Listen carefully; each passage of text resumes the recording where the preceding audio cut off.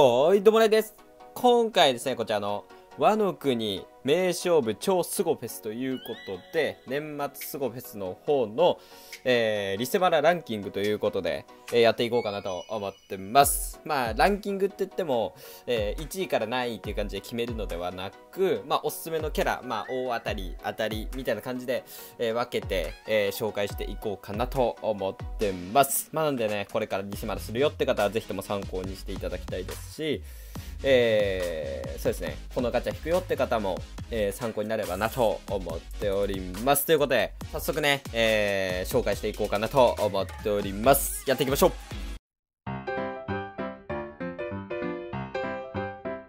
はい、ということで、まずは優先度マックスということで、まあ、大当たりの方を紹介していこうと思うんですけど、大当たりの中でも優先度高いですよっていうキャラから紹介していきましょう。えー、まずはカイドウ VS ヤマトなんですけど、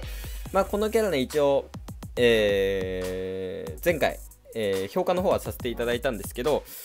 まあ、なんでちょっとね、えー、サクッとだけ紹介させていただこうかなと思っているんですが、まあ、ヤマト VS カイドウということで、まあ、VS キャラっていうのは、えヤマトとしても使えますし、カイドウとしても使えるっていう感じのキャラになってますので、1体ゲットすれば2体分の効果を、えー、使うことができると。まあ、ヤマトの状態で、え、イベント行ったりだとか、カイドウの状態でイベント行ったりってことができますので、まあ、初心者としては1体ゲットするだけで2体分、え、使うことができますので、うん。そういう点でもいいのかなとは思ってます。え、まず必殺技の方で、まあ、こういう感じでカイドウとヤマトで、えー、エンハンス変わってくるんですけど、エンハンスっていうか必殺技の内容が変わってくるんですけど、まあ、個人的にはヤマトの方が優秀なのではないかなとは思ってます。え、まず、えー、お邪魔スロットを含むすべての、えー、右列を連、えー、和スロットにできると。で、連スロットにすれば、え、超連携のね、条件のスロットに変換できますし、和スロットになればね、攻撃2.5倍の、え、スロットになりますので、火力としても出しやすいのかなと。で、あとは、えー、打突自由の、え、攻撃が3倍になると。いうところで、倍率としても高め。で、スロット営業が2.75倍になりますよということで、まあ、どちらともね、えー、倍率としては高めかなと思うんですけど、まあ、船長がダトツか自由タイプの時、3ターンの間、ダメージ軽減状態の割合に応じて攻撃上昇させるっていう、まあ、効果を発動させることができますので、例えばね、この括弧の中で書かれてるんですけど、80%の場合は1.8倍となるということで、多分攻撃の3倍から1.8倍、えー、かけることができますので、これかけるっていうことでいいんですよね。まあそうなると5.4倍になるっていう形ですかね。うん。まあなので もうえげつないんですよ。うん。高いキャラでも、この攻撃エンハンスの高いキャラでも4倍とか、でもそれ自分だけとかね、1体だけっていう効果なので、まあ、こういう感じで打突と自由タイプの攻撃何倍っていうのでは、まあ最大で3.25倍とか3.5倍が限界なんじゃないかなっていうぐらい、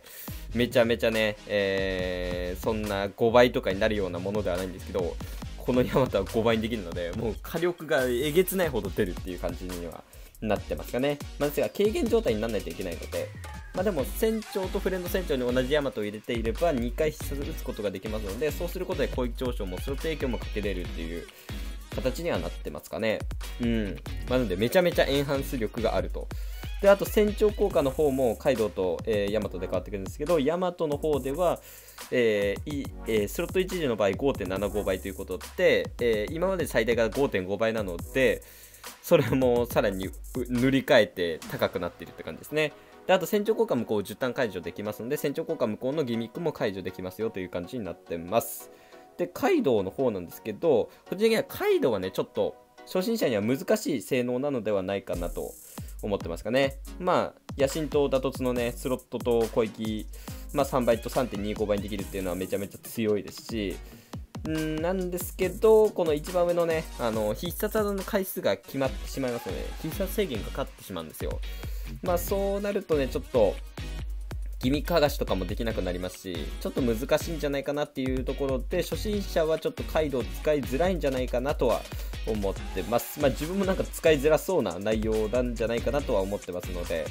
ゲットしたとしてもヤマトで使っていくんじゃないかなとは思ってますでまあ船長効果も、えー、こんな感じになってましてまあ、船長効果ね、かなり優秀なんですよ。その攻撃上昇とスロット影響増大効果と属性相性強化をプラス0.25増加させることができますので、これはめちゃめちゃ優秀ではあるんですけど、うん。まあ自分の下ターン巻き戻しと必殺封じを10ターン回復っていうのがあるんですけど、自分のそのカイドウの必殺技で、必殺封じ状態解除とかの効果を持ってませんので、結局正にね、必殺封じの解除できるキャラを入れないといけないっていうことになりますので、うん、実際のとこどうなのかなっていう感じではありますかね。まあ、効果としてはエンハンスとかで見ると、普通のキャラとかよりは全然エンハンス力はあるのかなとは思ってます。で、まあ、個人的にはヤマトの方がおすすめって感じですね。で、まあ、あとは、えー、VS 効果の方なんですけど、ヤマトの方では、えー、レンスロットの倍率が2.25倍になるということで、これめちゃめちゃありがたいですね。通常が2倍なんですけど、それが2.25倍になるよという感じですかね。で、まあ、あと、えー、ターン終了時に、カイドの方なんですけど、ターン終了時に、えー、500倍の無属性ダメージ与えることができますので、1セル効果のギミックとかにも対処できますよと。であと、状態上無効を無視して、えー、火ダメージ上昇、1.5倍に上昇させることもできますので、VS 効果はカイドウかなり優秀かなと。で、まあ、発動条件が、まあ、和とレンスロットを10個消費した時ということで、これがちょっとね、難しいところではあるのかなと思ってます。まあ、海賊サイドも結構優秀なキャラになってますので、海賊サイドも使ってみてください。はい、ということで続いては歌の方を見ていきましょう。こちらもぶっ壊れキャラと言いますか、めちゃめちゃ優秀なキャラで使いやすいキャラになってます。え、まず必殺技の方で、えー、まあ、白色とダートスタイプキャラの攻撃とスロット影響を上げれるっていう、まあ、エンハンス力のある、えー、効果があるんですけど、まあ、それが1ターン目、2ターン目、3ターン目という感じで振り分けられてますので、えー、と第3バトルで膝打つことで第3バトル、第4バトル、第5バトルって感じでエンハンスかけ続けることができますよと。まあ、なので実質え、あの、5ターンの間攻撃とスロット影響を上げるみたいな感じになってますかね。一応そのなんですかねトレクルの仕様的に、えー、バトル3の方で攻撃上昇を3ターン上げた場合、えー、その最初の必殺技を使ってタップして敵倒しましたよで一旦消費されて次に、え、第4バトルの方で先制攻撃が発動されて敵の先制攻撃が発動されて一旦失うので結局3ターンないと、えー、エンハンスかかってないんですよ、まあ、なのでその次のターンに火力出すのであればエンハンスかけていきたいのであれば3ターン必要ですよっていうのがまあトレクルの仕様なんですけど、まあ、それをね、えー、1ターン2ターン3ターン目っていう感じでエンハンスをかけてくれるので第3バトル第4バトル第5バトルって感じでエンハンスをかけてくれるのが歌のこの効果になってますかね、まあ、この効果未だにこの歌だけですので結構貴重な効果ではありますと。でこの有利効果打ち消しされた場合えー、攻撃とストロット影響増大効果が、えーえー、2.5倍に上昇させることもできますので、有利効果打ち消しとかのギミックが来たとしても対処できますよという感じになってます。で、まあ、あとは、えー、お邪魔スロットを含む全てのスロットが地スロットに変換されるということで、地属性編成であれば、えー、全員実スロットにできますよと。で、スロット2ターン固定し、3ターン内のチェーンケースがプラス1.4されることができますので、まあ、まあこんな感じで3ターンの間とかであれば、第3バトル、第4バトルって感じでエンハンスをかけれるっていう感じになってますかね。第5バトルに行くともう、エンハンスはかかってないって感じですかね。このチェーン係数がプラス1.4っていう効果はかかってないっていう感じになってます。まあかなり優秀ですかね。まあ、エンハンスいらずという感じのキャラになってますと、まあ、繊維とかにエンハンス入れなくても十分火力が出てくれるって感じですかね。で、船長効果の方で、しびれと、えー、久封じ、あ、久田ターン巻き戻しを10ターン回復できますので、えー、しびれとかね、久田巻き戻しとかのギミックにも対処できますよと、繊維とかに、えー、その対策のキャラを入れなくても大丈夫ですよということで、まあ、船長効果の方で、こういうギミック剥がしがあるとめちゃめちゃ便利かなと、初心者にも優しい効果になってます。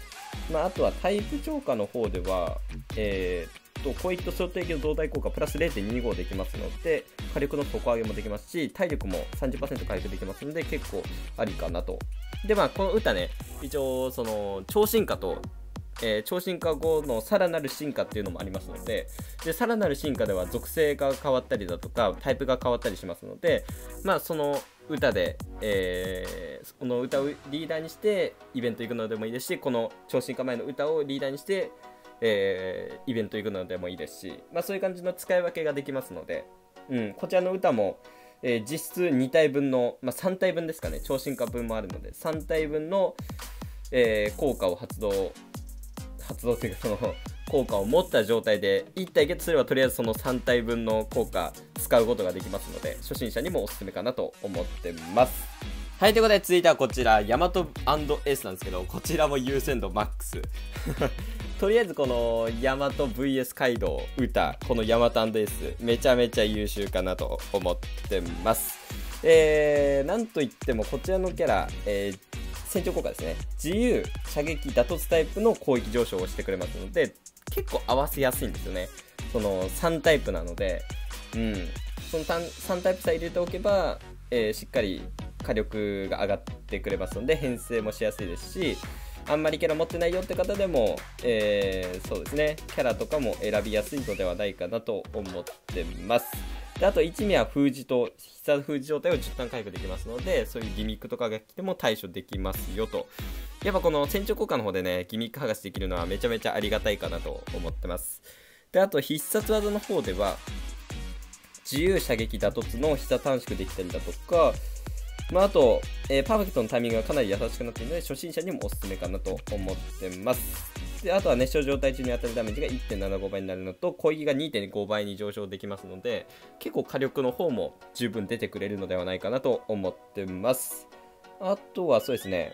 入れ替え効果があるんですけど、入れ替え効果で初期値開けたりだとか、えー、スロットを実ソットに変換できたりだとか、熱傷状態にもできますので、これで熱傷状態にしつつ、熱傷状態というのに当たるダメージ1.75倍にして火力を出すっていう感じですかね。うん。まあ、かなり優秀かなとで超入れ替えの方では初期値2.5になったりだとか、まあ、かなり優秀な効果で、まあ、自分そのこのヤマタンデスゲットしてからずっと使わせていただいてるんですけどどのイベントでもやっぱ船長にして使っても全然攻略できますのでヤマタンデスさえ持ってればどうにかなるっていう感じにはなってますかね。っていうぐらいめちゃめちゃ使いやすいキャラにはなってます。であとは腹ペコ耐性もついてますね。腹ペコとかのギミックとかにも対処できますよと。で、まあ、海賊祭でも結構使われているっていう形になってます。はい、ということで、続いてはこちら、ロジャーニューゲートなんですけど、まあ、こちらのキャラはね、最近になって結構株が上がってきたキャラになってまして、海賊祭の GP 性能、まあ、グランドパーティーでですね、めちゃめちゃ強いっていうのが、えー、まあ、第1回、第2回で分かりまして まあ皆さん結構強化してる方いるんですけど、まあ、まず普通の方なんですが、まあ、ロジャーとね、えー、白ひげでだいぶその必殺技が変わってくるんですけど、まあ、戦場効果もこう20ターン回復できますし、この広域上昇効果を3倍になるように上昇っていうのが、まあ、例えばですけど、他のキャラでエンハンス、広域エンハンス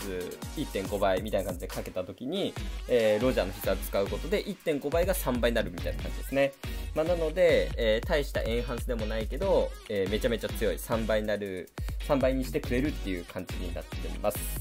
で、あとは、まあ、ロジャーで、あ、ロジャーね、ニューゲートであれば、えー、スロットイクが3倍になるって感じですね。で、属性相性もかけれて、えー、ロジャーの方ではプラス0.25できますので、えー、船長とフレンド船長に同じキャラを入れていた場合、えー、そうですね、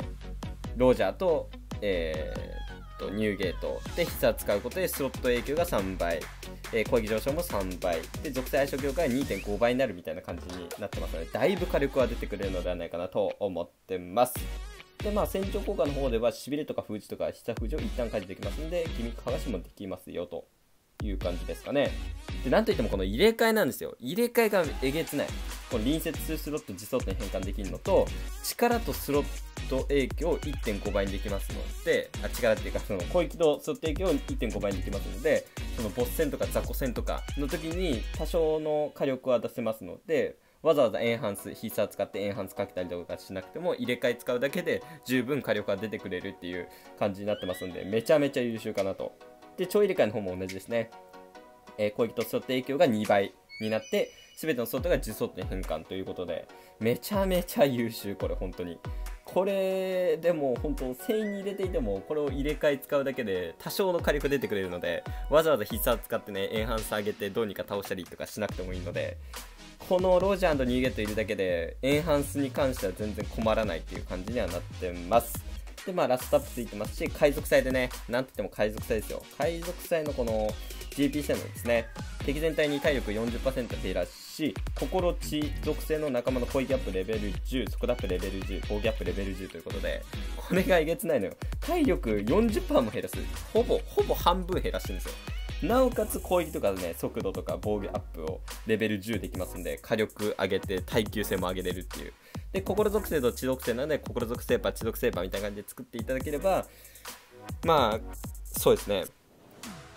まあその心属性地属性で倒していくって感じですねまあ3戦あるので3試合中2試合すれば2試合勝利すればどうにかグランドパーティーは攻略できますのでうんそういった点ではめちゃめちゃ便利かなと。心属性パ地属性パで作っていただければめちゃめちゃいいのかなと。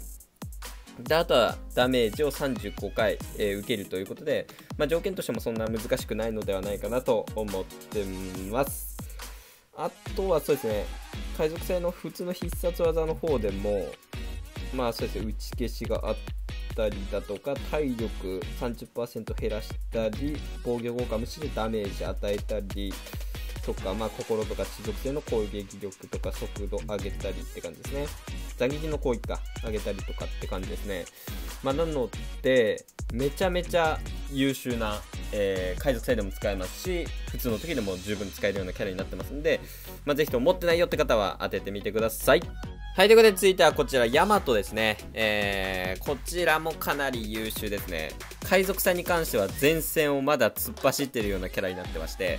まあ、とりあえずまず普通の方なんですけど、必殺技の方ってヒダメージ1.75倍上昇させつつ、パーフェクトのタイミングがかなり優しくなるっていうので、まあ、初心者におすすめかなと。で、あとチェーン係数がプラス1.1できるのと、1尾のお邪魔スロットと次スロットを和スロットに変換できるということで、これがめちゃめちゃ強いのよ。うん。これがやはりめちゃめちゃ強い。やっぱお邪魔スロット変換とか来た時とかに必殺使うことで和スロットにできますので、これがかなり優秀かなと。やっぱ和スロットにするだけでだいぶ変わってきますからね。で、まあ、あとはそうですね、パーフェクトのタイミングかなり優しくなるので、初心者もパーフェクト取りやすいですよという感じですかね。まあ、自分、序盤の方にこのヤマトゲットしたんですけど、そのトレクル始めてね、序盤の方にゲットしたんですけど、結構最初の方はめちゃめちゃ使ってましたね。とりあえずヤマト入れてればどうにかなるべ、みたいな感じで使ってましたかね。あとは、そうですね、船長効果の方では、まあ、封じが10ターン回復できますんで、封じとかにも対処できますよという感じですかね。まあ、あとは超過で1ミのスロット一旦固定できますので、和スロットを固定して次のターンに継続させていくってこともできますし、えー、チェーンケースが1.25倍になってますので、えー、チェーンケースの、えー、倍率も上げていけるという感じになってます。っていうとこですかね。あとラストタップついてますし、結構優秀ですし、なんといっても海賊性ですよね。海賊性の攻撃やばいんですよ、これ。中範囲の敵を100%の確率でステータス半減させること。この捨て半減がめちゃめちゃ優秀。うん。やっぱこの捨て半減されてるのとされてないのでは、だいぶね、相手の状態が変わってきますので。うん。この捨て半減はめちゃめちゃありがたいですし、まあ、なんといっても敵2体に攻撃4.5倍のダメージということで、これで大体2体は吹っ飛んでくれるかなと。で、あと大半に敵の攻撃ダウンもできますので、相手にデバフかけれますよと。でもあと地属性の攻撃が上昇してくれますので、地属性パで組めばめちゃめちゃ火力出てくれるかなと。まあ、GP 性のは特にそんな使ったことないですかね。で、なんといってもこのヤマト、えー、超進化させることって心属性ヤマトにも変換できるんですよ。心属性のヤマトになるんですけど、まあ、そちらの方でもね、めちゃめちゃ優秀な、えー、キャラになってますので、まあ、2属性、えー、をこう、交代交代で使えるっていうのがめちゃめちゃ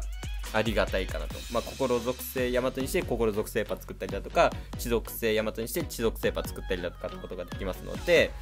まあ、できれば2体持ちしたよね、みたいな感じのキャラになってます。はい、ということで続いては大当たりキャラということで、えー、紹介していくんですけど、まあ、先ほどはね、大当たりの中でも、えー、ズバ抜けてるっていうキャラを紹介させていただきまして、えー、今回はとりあえず大当たりまあ、十分強いキャラですね。大当たりキャラという感じで、えー、入れさせていただいてます。えー、まず、ナミですね。こちら新規のキャラなんですけど、まあ、そうですね、ダメージ軽減状態と残り体力1体力効果7ターン、えー、ギミック剥がすことができますし、えー、状態上無効を無視して、しびれ状態にしつつ、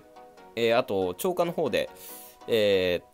超過の方で、えー、ダメージ量が2.25倍になると、しびれ状態の場合はという感じですかね。なんで、エンハンスかけてくれますし、あと一定以上ダメージ軽減が5ターン解除できますので、ダメージ軽減と、えー、1台効果7ターン解除しつつ、一定以上ダメージ軽減な、えー、5ターン解除できるということで、ギミック剥がしもかなりしてくれますよという感じになってます。で、あとはそうですね、必殺技の方で、まあこれ説明してもあまりわかんないんじゃないかなとは思うんですけど、その初心者の方とかはね、まあ、ヒタダマックス超えた時、えー、蓄積することができるんですけど、必殺技短縮を。まあ、自分もこれ初めて見る、えー、性能ですので、まあ、使ってみないとどんな感じかはわからないんですけど、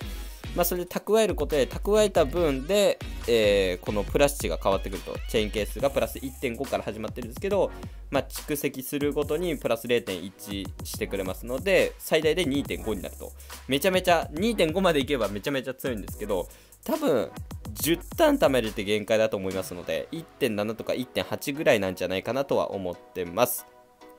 で、まあ、同じく基礎攻撃力もね、えー、プラス1250できるんですけど、蓄積値によって、250プラスと。で、最大で3000になるんですけど、自分的には2000いけばいいかなっていう感じにはなってますかね。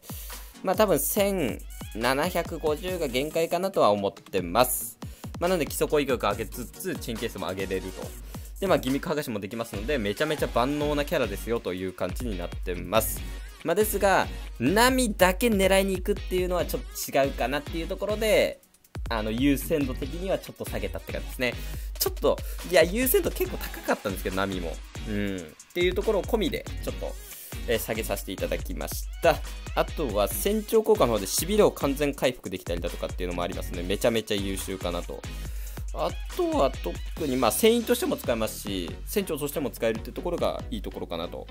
で、あと、超連携持ってますし、あ、すいません。超連携持ってますし、海賊性の方はちょっとローマンって感じですね。このランダム攻撃なので、3000ダメージ与えることもできれば1000ダメージみたいな感じの可能性もありますので、うまくいけばめちゃめちゃ火力出てくれるって感じですね。GP 性能も同じくって感じです。まあ、というところで、まあ、ということで、ナミはね、結構優秀なのではないかなと思っております。はい、ということで続いてはこちらルフィになってますかね。こちらも結構優秀なキャラではあるんですが、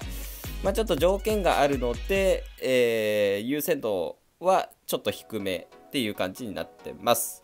えー、まあ効果としては、広域上昇が3.25倍にできたりだとか、スロット影響2.75倍にできたり、まあ、お邪魔スロットを含む全てのスロットが実スロットにできたりだとか、プラス値がプラス0.25できたりだとか、っていうのがあって、めちゃめちゃ強いんですけど、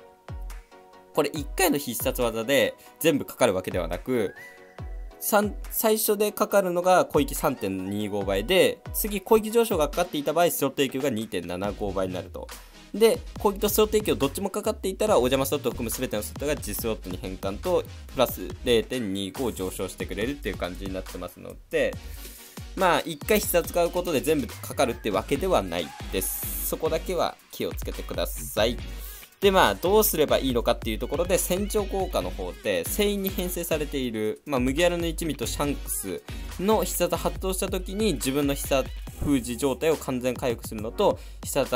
をマックスまで短縮させることができますので、まあ、3回までっていう宣言はあるんですけど、まあ、そうですね。まずルフィで必殺使って攻撃上昇。で、繊維にいるゾロとかで必殺を打って、そうするとまたえー、ルフィの膝短縮がマックスまで溜まってもう一回膝打つことができますよと。そうすることでスロット影響上げるって、で、例えばもう一回チョッパーいたとしたらチョッパー使って、さあまた膝短縮されて、ルフィ使うことでお邪魔スロット含む全てのスロット、実スロット変換とかプラス値がつくっていう感じになってますということで、まあ、かなり優秀なんではあるんですけど、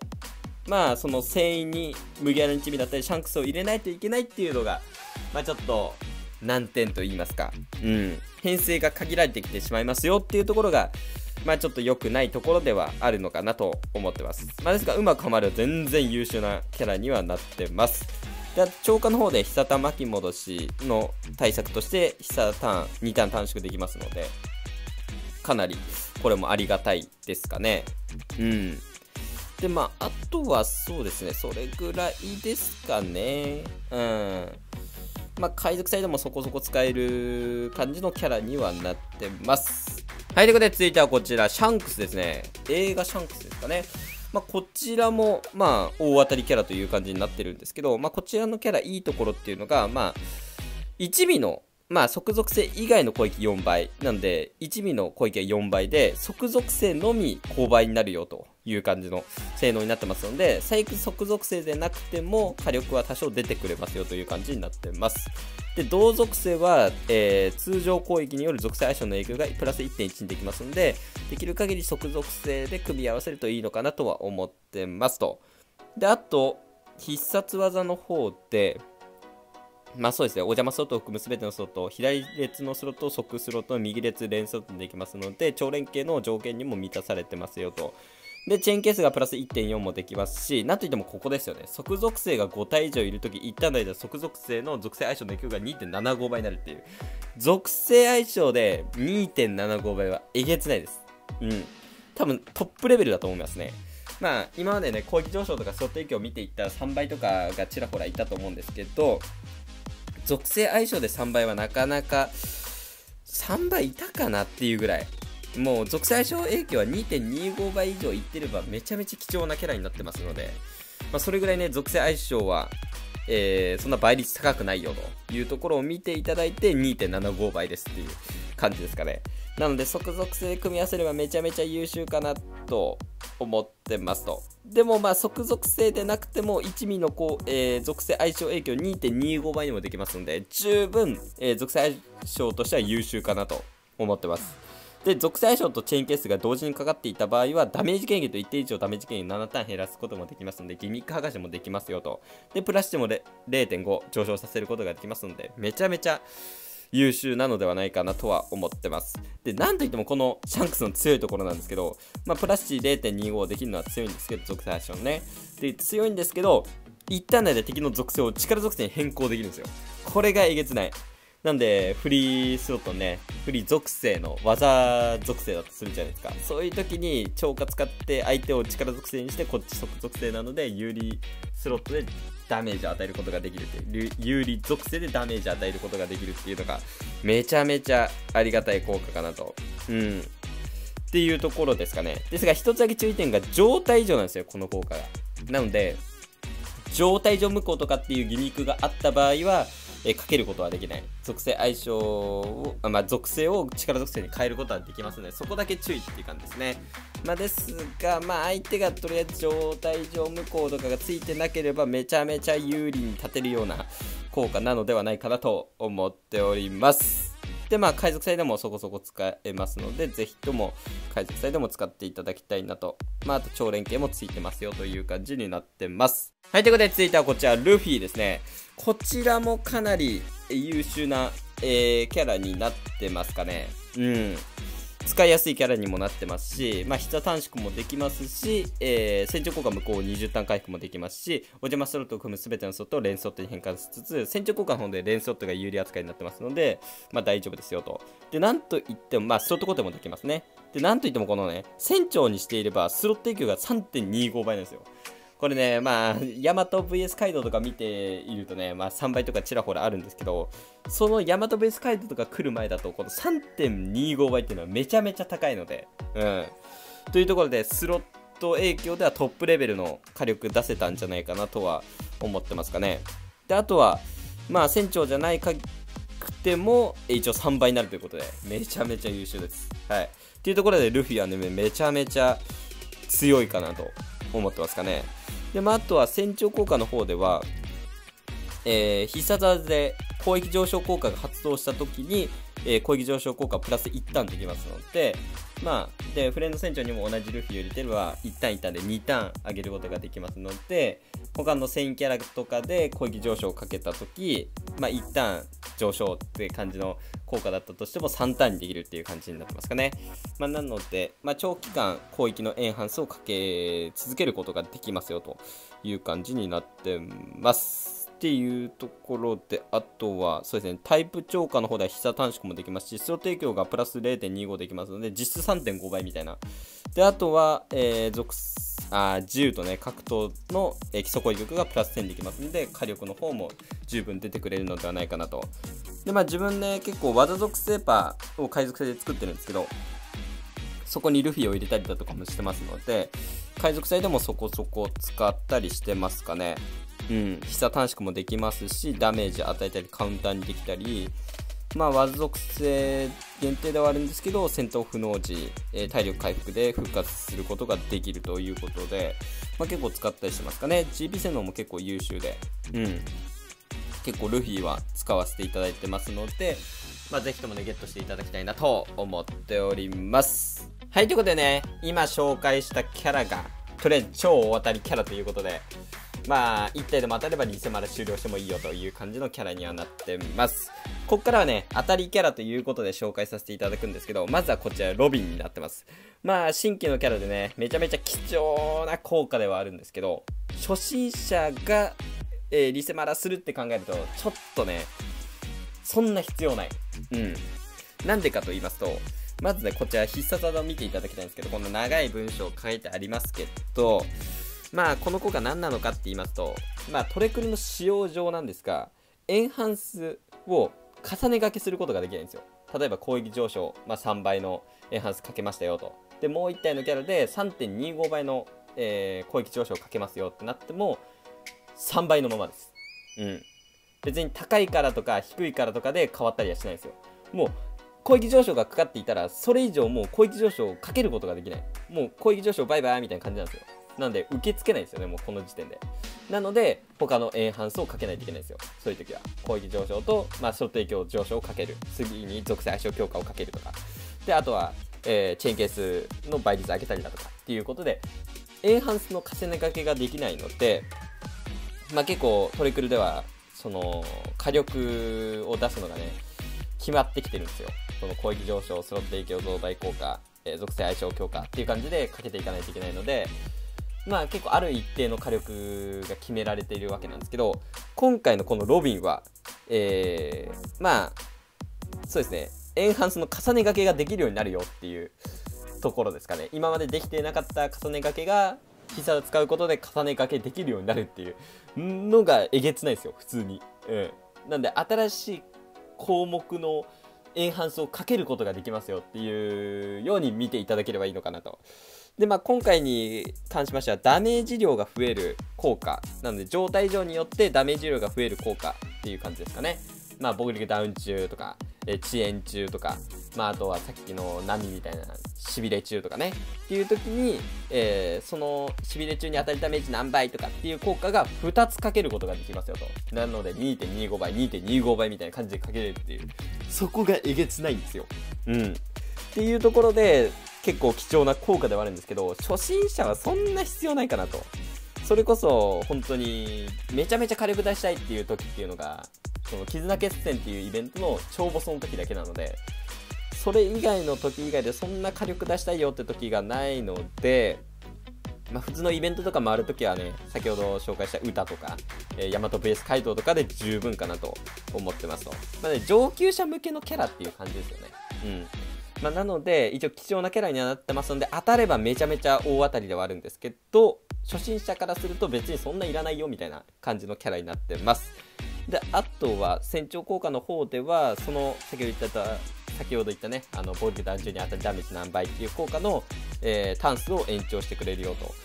で、まあ、攻撃、まあ、必殺使うことで攻撃が5.5倍になりますので、火力的にも十分出てくれるかなと思ってます。で、タイプ超過の方では、必殺短縮とスロット影響増大効果プラス0.25と、スロット影響が2.5倍にできますよということで、エンハンス力もかなりあるよと、即属性白色自由なので、組み合わせやすさもあるかなと思ってます。それこそさっきのね、えー、レッドの、えー、シャンクスと組み合わせてもいいのかなと思ってます。あとはそうですね、これ結構ありがたいですかね、冒険開始時1味の下ターンを一旦短縮できるっていうのはありがたいですし、まあ、あといえばラストダブもありますし、えー、海賊隊でも結構優秀な効果を持ってますので、ぜひともね、えー、ロビン当たればめちゃめちゃ、あのー、強いので、うん、ゲットしていただきたいんですけど、初心者からするとちょっと、そんな使わないよっていうだけの話になってます。はい、ということで続いてはこちら、ルフィムゲアの一味なんですけど、まあ、こちらも大当たりキャラにしようかなとは思っていたんですが、まあ、そんなね、ん、ちょっとね、自分も使ったことがないっていうのもありまして、そんな強くないんじゃないかなとも思い始めてきてますと。まあ、そんな使ってる方もいないですし、まあ、必殺技の方で、この攻撃とかスロット影響、そして属性相性強化2倍にできたり、チェーンケースがプラス1.0、えーえー、0.8できたりするんですけど、まあ、十分な火力、安定した火力は出すことができるんですけど、その必殺使った後、有利効果がつかなくなってしまうんですよ。まあ、そうすることで、その火力の上乗せがまたできなくなってしまいますので火力をボーンって上げることができないんですよなので安定した火力出すことはできるんですけどこの高火力出したりっていうことができなくなりますので、まあ、初心者からすると十分な火力ではあるんですけど、まあ、ちょっとこう使い始めていくと使う場面が少なくなってきてしまうのではないかなとは思ってますかね。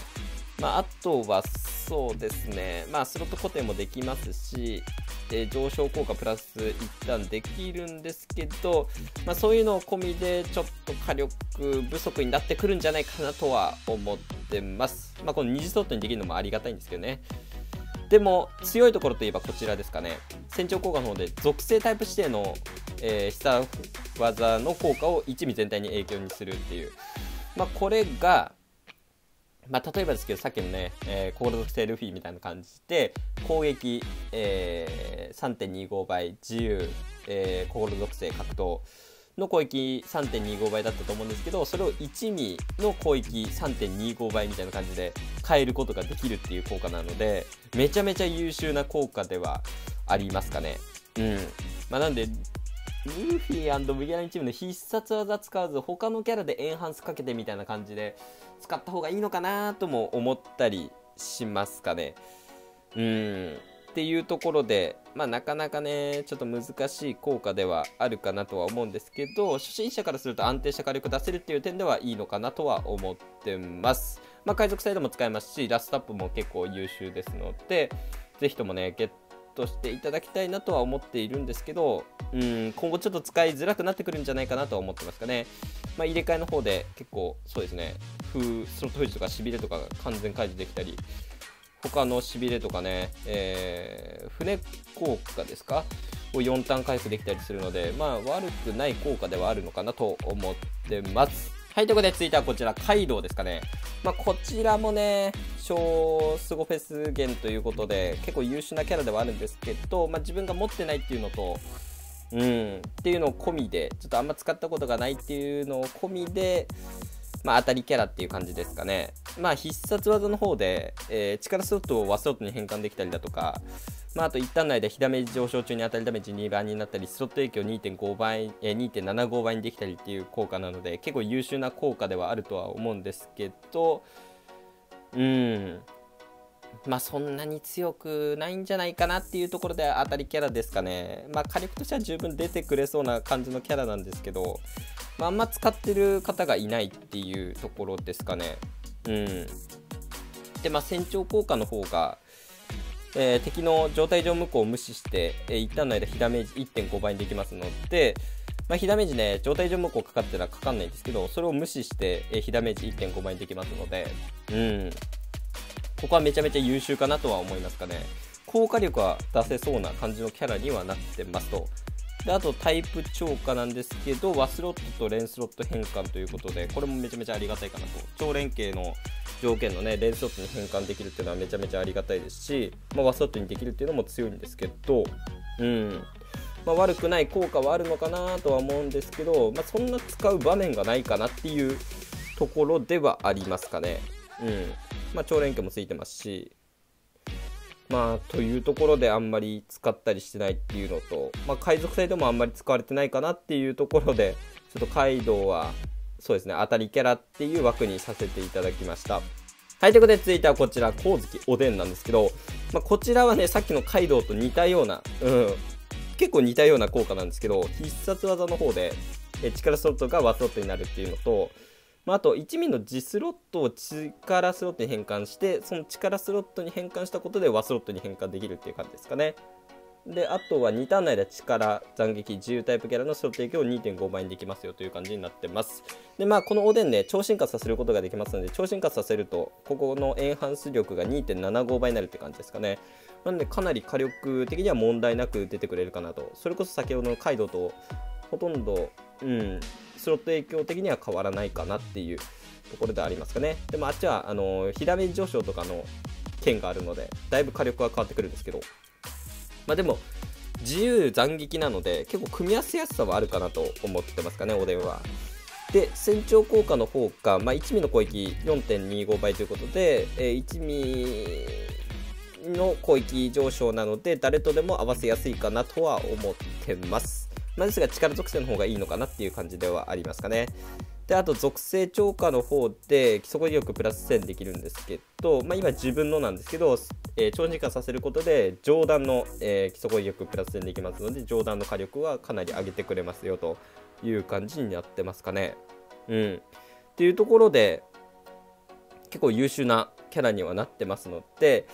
まあ、ぜひともお電話ゲットしていただきたいなと、まあ、自由タイプなので、個人的には結構組み合わせやすいのかなとは思ってます。はい、ということで、続いてからは、えー、超スゴフェス限定のキャラではなく、えー、普通のスゴフェスで出るようなキャラになっているんですけど、えー、まずはこちら、えーコラソンローなんですけど、これ最近来たキャラなんですが、まあ、強いところっていうのが、まあ、このカラスロットにできるっていうところで、で、カラスロットの倍率も2.25倍にできるっていう、ところがめちゃめちゃ優秀かなと。で、空状態になっていれば、相手の変換対象にもなんないので、まあ、例えばお邪魔ストット変換だったり、えー、フリストット変換が無効化できるっていう点ではめちゃめちゃ優秀かなと。まあ、ですが、攻撃上昇が白式タイプのみなので、まあ、そこがちょっと欠点ではあるんですけど、普通にやっぱ、お邪魔スロットとか超邪魔スロットとかっていうのを全て、えー、無効化できるっていうのはめちゃめちゃ優秀かなと思ってます。で、まあ、あと船長効果の方で船長効果無効10ターン回復できたりだとか、タイプ超過の方でしびれと恋用ダウンを3ターン回復できますので、ギミック剥がしとしても使えるという感じになってますかね。うん。っていうところでかなり優秀なキャラかなと思っております。はい、ということで続いてはこちら、ローですね。こちらもかなり優秀な、えー、キャラになってますと。まあ、火力出したいのであれば、即属性で火力出したいのであれば、ローみたいな感じにはなってますかね。え、必殺技の方で、えー、白手と自由タイプキャラの通常攻撃のチェーン結増加量がプラス0.6になると。普段であれば0.3ですかね。が0.6になるって感じですね。で、膝短縮もできて、まあ、あとは、えー、攻撃上昇が2.75倍にできて、攻撃上昇がかかっていた場合、スロット影響が2.5倍になるという感じですかね。まあね、かなりエンハンスとしても倍率高めという感じになってます。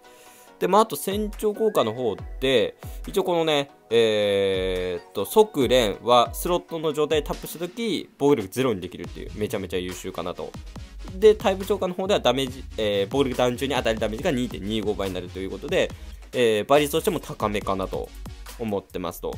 まあ、かなり優秀なキャラですよね。超連携もありますし、うん。まあ、なんで結構使っているキャラにはなってますかね。はい、ということで、続いてはこちら、キットですね。まあ、こちらも先ほどのローと同じタイミングで来たんですけど、まあ、効果としては似たような感じなんですが、まあ、ちょっと違うところといえば、この、野心と打突タイプキャラのお邪魔スロットと属性スロットを連スロット変換し、野心と打突タイプキャラがパーフェクト攻撃1回成功するまで、同タイプキャラのスロットをスロット変換負荷にするっていうのがありますので、まあ今、連スロットに変換してるじゃないですか。で、えー、その状態でずっと突き進んでいけば、それこそ超お邪魔スロット変換だったり、お邪魔スロット変換っていうのが全て無効化できるっていうので結構優秀かなと。ですが、パーフェクトを取ってしまいますと、その効果が、えー、もうなくなってしまいますので、うん。そういうのを見るとちょっと、えー、そうですね、無理なのかなと。まあ、パーフェクトが取れないっていう点では、ちょっとね、火力出しづらいんじゃないかなとは思ってますかね。でも結構この効果は貴重なのではないかなとで、まあ、あとは、えー、そうですね、まあ、タイプ超過で、えー、短縮、膝短縮できたり、えー、攻撃上昇効果はプラス0.25できたりだとかっていう点で、まあ、超連携もついてますし、うん。まあ、自分的には非、あの、船長に入れるよりも、船員として使っていくのがいいのかなとは思ってますかね。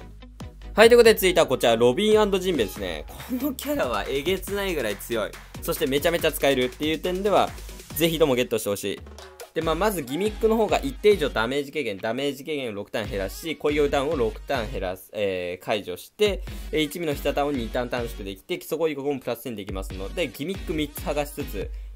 えー、基礎攻撃力もプラス1000できるっていう多少の火力も出せると。で、繊維効果の方で必殺巻き戻しもついてますので、巻き戻しが来た時に巻き戻し回復しつつ、1ミの2、えー、必殺を2段短縮できますので、めちゃめちゃ優秀。ギミック3つ剥がしつつ、えー、短縮もできてっていう、めちゃめちゃ優秀かなと。まあ、船長というよりも繊維で使った方がいいですかね。で、入れ替えでは隣接するスロット、実スロット、超連携であれば全てのスロットが実スロットにできますので、そういう、なんですか、フリスロット変換とか爆弾スロット変換来ても対処できますよという感じになってますということで、まあ、個人的には一番優秀かなっていうぐらい、その、フェスゲンの中では優秀かな、そして使い勝手がいいかなっていう点ではめちゃめちゃロビージンベイはゲットした方がいいかなと思っております。はい、ということで続いてはこちら、白星マンシリー。こちらもね、ロビンジンベエ同様めちゃめちゃ優秀なキャラになってまして、まあ、しびれ、船長効果無効。まあ、使う、よく使うのがここら辺なんですけど、えー、7ターン回復できたりだとか、まあ、毒も、すべての毒も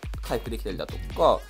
まあ、あとは、えー、全スロット2スロット変換できると。まあ、和スロットみたいな感じですかね。でも倍率が2倍ですよっていう感じになってます。で、あとチェーンケースがプラス1.2できますので、えー、チェーンケース加算で火力も出しやすいですし、うん、まあギミック剥がしもできていいなっていう感じですかね。で、入れ替えの方でもギミック剥がし、えー、久封じ、封じ、スロット封じ、えー、船長効果無効、一旦回復できますので、えー、そうですね。あと一旦足りないよって時には入れ替え使って回復したりっていうこともできますので、めちゃめちゃ優秀かなと。持ってないっていう方はぜひともゲットしてほしいなと思っております。あとは最近であればこのエースなんですけど、エースが超進化来てるんですよね。その超進化後がめちゃめちゃ優秀ですので、エースまだ持ってなくて、まあ超進化スカラは持ってるんですけど、エース持ってないよって方はぜひともエースもゲットしてみてください。さあ続いてこちら、トニートニーチョッパーですね。まあ、こちらも映画キャラになっているんですが、こちらはめちゃめちゃ優秀。うん。まあ、めちゃめちゃ貴重なね、この体勢下げ。格式の体勢下げっていうのもありますし、えー、基礎、えー、属性相性強化が、えー、最大で2.5倍にできるということで、めちゃめちゃ貴重な効果をたくさん持っているっていう点では、ぜひともゲットしてほしい。すま、すみません、めっちゃ噛んでる。で、封じ、船長効果向こうも6ターン解除できますので、えー、そういうギミック対策にもなるというところで、まあ、船長に入れるっていうよりも船員として使っていくのがいいのかなと。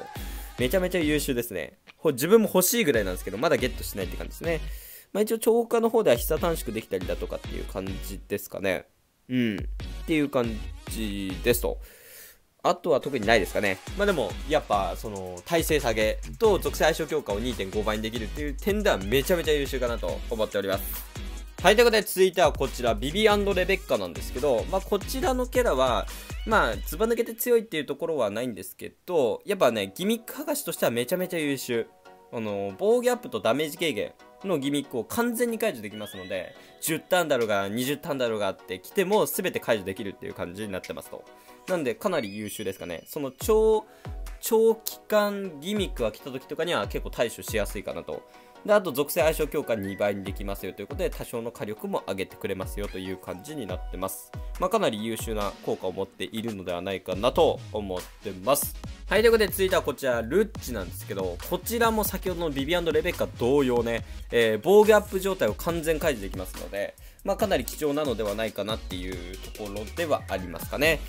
まあ、あとは基礎攻撃力1000できたりだとか、スロット影響も上げれるので、火力としてもかなり上げてくれるのではないかなと。うん。まあ、持っといて損はないかなと。で、個人的には海賊性でも結構使っているキャラになってますので、えー、技属性の編成組みたいよって方は、ぜひとも、えー、ロブルッチ使ってみてください。で、まあ、超過は、えー、そうですね、スロット影響増大効果プラス0.3できますので、えー、実質スロット影響2.8倍にできるという感じになってます。まあ、あと周回するのであれば、このマルコとかですかね。うん。まあ、この海賊 XP が2.25倍になったりだとか、まあ、あとはそうですね。うん。まあ、単純にエンハンス力もありますし、まあ、必殺短縮もできますし、結構ポンポン必殺技も打てるっていうところでは、マルコありかなとは思いますかね。週間の時とかには便利かなと思ってます。で、まあ、周回で言えば、このカイドウもね、えー、一応その、ターン終了時に400倍の技属性ダメージ与えることができますんで、毎ターンね、与えることができますんで、まあ、それで、カイドウを船長にして、とりあえずタップ、そのね、タップしてれば、オートにしてタップしてれば、あの、いつまにか、その あの、イベント終わってるみたいな感じで周回しやすいと思いますので、持ってないよって方はぜひともゲットしてほしいなと思ってます。はい、ということで続いてはこちら、ベンベックマンドラッキール。これは強いですよ。これは強い。これはね、強い。このキャラはめちゃめちゃ強いね。いや、まあ、大当たりに入れてもいいなとは思ってはいたんですけど、うん、まあ、大当たりレベルではありますよね。それこそロビージンベイと同じぐらいの位置に立つ、えー、キャラにはなっているんですが、えー、まあ、必殺技で、えー、即属性と射撃タイプキャラのスロット影響を2.25倍にできて初期値も2.75倍にできるということで長期間ねスロット影響と初期値上げてくれますよという感じになってますかね。でさらに、えー、かかっていればスロットがプラス、えー、0.3で初期値もプラス0.25できると。であとなんといってもこちら船長効果ですね。このまあ、条件点でバリア貫通持っているキャラっていうのはあるんですけど、うまく発動させれば一定以上ダメージ軽減、ダメージ軽減、防御アップを一旦減らせるというところがめちゃめちゃ優秀かなと。まあ、この船長効果でダメージ軽減系を解除できるっていうのはなかなかいないので、まあ、結構貴重なのではないかなと思ってます。まあ、結構優秀な効果を持っているのではないかなと。まあ、タイプ超過でも、えー、一応一定以上ダメージ軽減、ダメージ軽減、防御アップ2ターン解除できますし、攻撃上昇もかけれると。で、まあ、一応連、あの、連携、超連携技の方でも、えー、一定上ダメージ軽減とダメージ軽減と、えー、防御アップも解除できますので、まあ、結構自分としては使いやすいキャラにはなっているのかなと思ってます。はい、ということで、続いてはこちら、日和ですね。まあ、こちらも、先ほど言った通り、えー、その、ロビージンベイ同様ぐらいの、え、性能なんですけど、まあ、そうですね、条件なしで全ての、お邪魔スロットを含む全てのスロットをワスロットに変換できるというのはめちゃめちゃ優秀ですかね。で、あとスロット固定もできますし、で、戦場効果もこう、封じ、7ターン回復もできますので、めちゃめちゃ優秀なのではないかなと思ってますかね。うん。で、あとは、えー、そうですね、まあ、冒険開始時、えー、全員のスロットをワスロットにできたりだとか、まあ、超過の方で1タイル効果7ターン減らしたりだとか、膝短縮もできますので、まあ、かなり優秀な効果はあるのかなと。やはりやっぱ、なんといってもやっぱお邪魔ソット含む全てのソットをワスソットに変換できるというのが強いところかなと思ってます。はい、ということで続いてはこちら、金右衛門デンジロですね。こちらはダメージ軽減、そして防御アップ6ターン減らせますし、スロット影響を曲げて基礎攻撃力も上げれると。まあ、火力も出せますし、ダえー、ギミックも解除できると。で、なんといっても個人的にはなんですけど、このやっぱ耐性下げが使えるっていう、入れ替えで耐性下げをかけることができるっていうのが、まあ、一番の使いどころかなとは、個人的には思ってますかね。うん、なんでぜひともゲットしていただきたいなと。まあ自分持ってないっすよ、未だに。これは欲しいんですよ、めちゃめちゃ。やっぱ耐性下げのキャラっていうのは貴重なので、ぜひともゲットしてほしいなと思ってます。はい、ということで続いてはこちら、ビビですね。こちらも結構優秀で、まあ、3ターンの間、えー、力、えー、白色自由タイプのスロット影響2.25倍にできて、お邪魔ソットを含む全てのソットを実ロット変換というのが、まあ、スロット影響を長期間かけることもできますし、あとはお邪魔ソットを含む全てのソットを実ソットに変換できるというのがめちゃめちゃ優秀かなと。で、スロット固定もできますので、継続してね、実ソットの状態で次の、えー、回にも進むことができますよと。で、あとは、スロット影響増大効果を2ターン延長とプラス0.25を上昇させることもできますので、まあ、かなり優秀なんではないかなと思ってます。で、あと船長効果の方で膝封じ状態を10ターン回復もできますので、膝封じが来ても対処できますよという感じですかね。うん。まあ、超過で攻撃上昇もかけれると。まあ、かなり優秀なキャラになってまして、まあ、船長としても使いますし、船員としても全然使っていけるようなキャラになってますので、まあ、当たれば当たりですよっていう感じになってます。はい、ということで続いてはこちら、ビビレベッカなんですけど、こちらもかなり優秀で、まあ、ギミックね、封じと膝封じを6ターン解除できますし、攻撃とスロット影響を2倍にできますので、まあ、結構その、1枠しかなくて攻撃もスロット影響も上げたい。でも、ギミックも解除したいとって時には結構優秀かなと。うん。で、まあ、入れ替えの方では、えー、チェーンケースがプラス1.5できますので、えー、かなりありがたいかなと。増加できるのはありがたいかなと。で、膝封じ状態を完全解除もできますので、自分の膝封じは解除できますよという感じになってます。で、まあ、続いてこちら、えー、まあ、コラソンですね。まあ、こちらのいいところっていうのは、普通の時はそんな使えないんですけど、このサポート効果がかなり優秀で、敵から封じ、戦場効果もこう、しびれ受けた時、封じ、戦場効果もこう、しびれ2ターン回復っていう、めちゃめちゃ優秀。サポートとしてはめちゃめちゃ優秀なので、持ってないよって方はぜひともゲットしてほしいなと。でも対象がね、ローだけなので、まあそこがちょっと欠点ではあるんですけど、まあでもロー結構ね、強いキャラで持ってる方多いと思いますので、そういうキャラと組み合わせるといいのかなと思ってます。はい、ということで、続いてはこちら、ウソップヤソップですね。こちらも、えー、映画できたキャラなんですけど、まあ、単純に必殺技、基礎攻撃力上げてくれたりだとか、えー、遅延中に当たりダメージ2.25倍だとか、あとは、えー、被災発動時、えー、遅延状態の敵がいるときは遅延効果を一旦延長し、船長が射撃か自由タイプキャラのとき、えー、まあ、状態上無効とか遅延無効を無視して、えー、攻撃を一旦遅延させることができますよと。いう感じですかね。まあ、遅延させつつ、えー、遅延中に当たりダメージ2.25倍にできるみたいな感じですかね。めちゃめちゃ優秀かなと。で、なんといってもこちらもね、入れ替えの方で耐性下げができますので、それがやはり強い。うん。入れ替えで耐性下げはめちゃめちゃありがたいので、まあ、ぜひともね、ウソップヤソップ持ってないよって方は狙ってみてください。はい、ということで、続いてはこちら、おでんですね。まあ、こちらはですね、通常でも使えますし、えー、海賊隊でも使えるっていう、めちゃめちゃオールマイティなキャラになってまして、まあ、必殺技の方では、えー、そうですね、属性相性強化が、えー、2.5倍にできるっていうのと、まあ、自由と斬撃タイプの属性相性2倍、えー、2.5倍にできるっていうのと、まあ、あと、自由と斬撃タイプが発動した攻撃上昇とスロット輸血増大効果をプラス0.25できますので、結構火力の底上げができるっていう感じのキャラになってますので、絆決戦とかのそういう火力出したいよって時とかには結構便利かなと。自分は結構使ってますかね。で、まあ、あとは、えー、そうですね、タイプ超過の方では全ての外を自走に変換できるのと、チェーンケースがプラス1.25できますので、結構ありがたい効果にはなってますという感じですかね。で、まあ、海賊祭の方でも、かなり火力出してくれるんですよね、このキャラ。うん。横大範囲の敵に攻撃3.5倍のダメージ与えることができますので、結構な火力出してくれるので、自分は心属性パーティーでちょっと編成組んでるんですけど、めちゃめちゃ使ってますかね。で、まあ、コード封じもうまくいけばかけることができると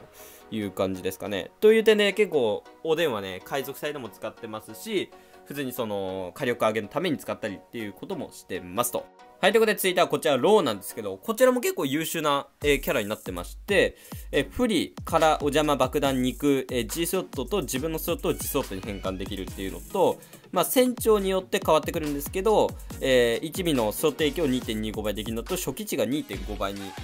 できますので、初期値上げつつ、えー、スロット影響を上げれるっていう感じのキャラになってますね。結構貴重な効果かなと思ってます。で、まあ、一応海賊祭の方でも自分は結構使ったりしてますので、心属性パーティーで組んでますよって方は、ぜひともね、ゲットしていただきたいなと思ってます。はい、ということで続いてはこちら、おそばマスクですね。こちらも結構優秀なキャラになってまして、まあ、お邪魔ソットを含む全てのソットを連ソットに変換できるのと攻撃上昇をかけれるっていう感じのキャラにはなっているんですが、まあ、なんか最近気づいたことなんですけど、すいません。あの、繊維効果の方で一応、なんか自分以外のキャラが膝発動することで膝短縮できるんですよ。まあ、なので結構周回の時にも使えたりできますし、全一で攻略したいよって時で、下短縮できないよって時には、おそばマスク入れて代用したりだとかっていうことができますので、まあ、結構おそばマスク優秀なんだなって最近思ってますかね。まあ、なのでぜひともね、えー、おそばマスク持ってないよって方はね、当たればいいな程度でちょっと当ててみてください。はい、ということで続いてはこちら、白星マンシリー、えー、違う方の白星マンシリーですね。まあ、こちらもかなり優秀な、えー、キャラになってまして、まあ、貴重な効果ですかね。まあ一応この状態異常アイコンっていう効果がありまして、まあ、えー、ギミックでね、まあ例えばですけど、攻撃ダウンとかね、あとは、なんですかね、擬音隠しだったり、あと何ですかね、うーん、あとは特に出てこないんですけど、まあ他の状態異常とか、えー、毒とか、いろいろあると思うんですけど、そのアイコン、この攻撃上昇とかかかっているアイコンがあるんですけど、そこのアイコンの欄に並んでる、えー、ギミックを解除させることができるんですよ。10ターン、どれでも。まあ、なので結構ね、そこが優秀なところかなと。うん、10ターンも回復できるので、攻撃ダウンが10ターン来た時とかにも対処できますし、結構優秀なんではないかなと。で、最近結構使ったりもしますので、持っていれば、えー、結構、そうですね、使えるんじゃないかなと。で、まあ、あとお邪魔スロットを含む全てのスロット、実スロット変換できますし、入れ替えすることで、実スロットを2次スロットにできますので、必殺技使ったり、まあ、他のキャラで必殺使って入れ替えで2次スロットみたいな感じで使っていただければいいのかなと思ってます。はい、ということで続いてはこちら、犬嵐なんですけど、こちらはまあ必殺技でも結構優秀な効果ではあるんですけど、実際結構使ってるのはやっぱ海賊祭ですかね。うん。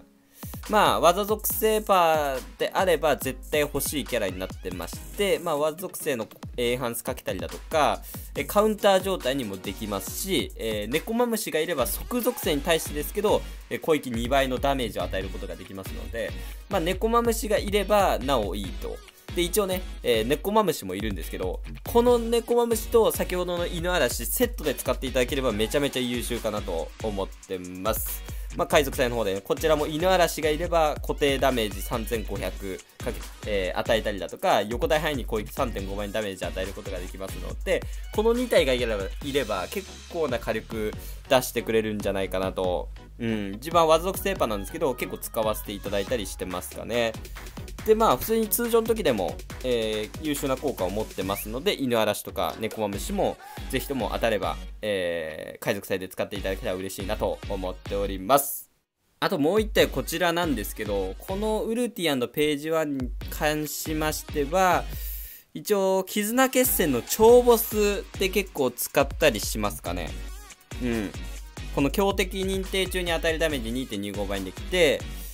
えー、まあ、状態上無、えー、状態上無効とか関係なく強敵認定できますし、それで2.25倍にもできますので、えー、結構その超ボスとかで状態上無効がかかっていた場合は結構代用して使ったりだとかエンハンスかけて使ったりだとかはしてますかね。うん。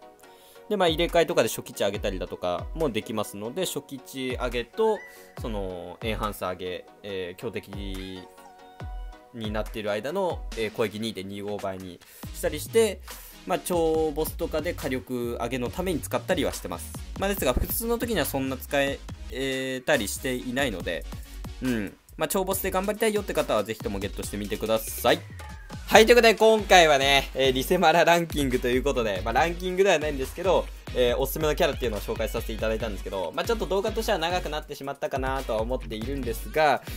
まあそうですね、一応先ほど言った通りのが自分の中でおすすめのキャラかなと思ってます。まあ、他にもね、一応強いキャラはいるんですけど、まあ、自分が使っていなかったりだとか、まああんまり使われていないなっていうのも踏まえつつ、まああと性能を見て、あーちょっと使いづらいのかなっていうのを考慮して今回は出してないっていう感じにはなってますかね。まあフランキー将軍とかであればまあまあ使えなくはないかなとは思うんですけど、まあ当たれば当たりかなとは思ってはいるんですけど、うん。まあちょっといろんなの込みで、えー、紹介させていただいたのがおすすめのキャラかなと思っております。まあということでね、えー、これからリセマルするよとか、えー、ガチャ引くよって方は参考にしてみてください。まあということで今回この辺で終わりたいと思います。ご視聴ありがとうございました。参考になったよって方はチャンネル登録、高評価よろしくお願いします。